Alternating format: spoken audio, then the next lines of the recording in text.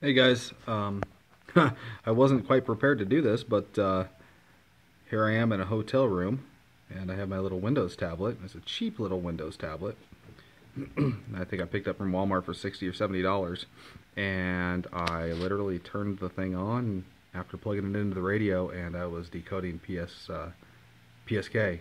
So I have it hooked up to my KX3 and don't mind the SignaLink or the mess. The SignaLink I was messing with last night for uh, WINMOR and just testing some things out. I wasn't able to decode anything with the uh, SignaLink last night. It could have just been the timing of it. But uh, uh today I decided to try a different route just because uh, I'm trying to work on some portable stuff.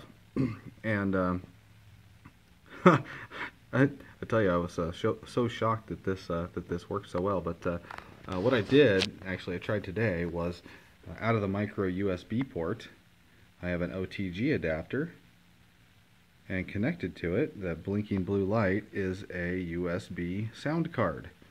And right here you can see the red the red wire. This is uh, Elecraft's uh, packet cable setup. The red wire is set up to the uh, speaker out or phones out on the uh, on the KX3, and the green is set is plugged into the microphone.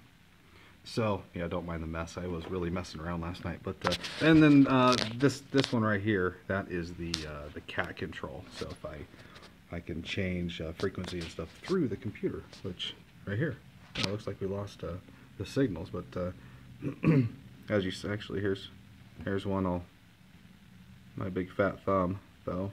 Oh, there we go. All right, and you can see it's decoding a signal.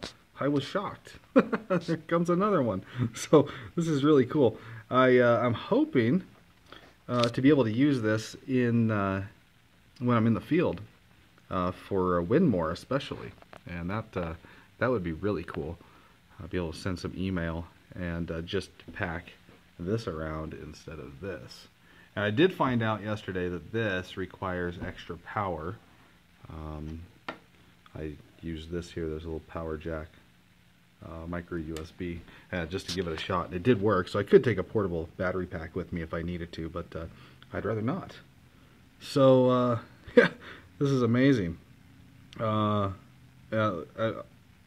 like I said, I just hooked it up, turned the radio on, had the software, uh, ran the software, and then all of a sudden it was picking up signals. So, crazy. This little tiny USB sound card plugged in through the uh, micro USB port and here we are full-blown uh, ham radio deluxe install on a very cheap 8 inch Windows tablet running Windows 10 so uh, I just thought I'd share that with you.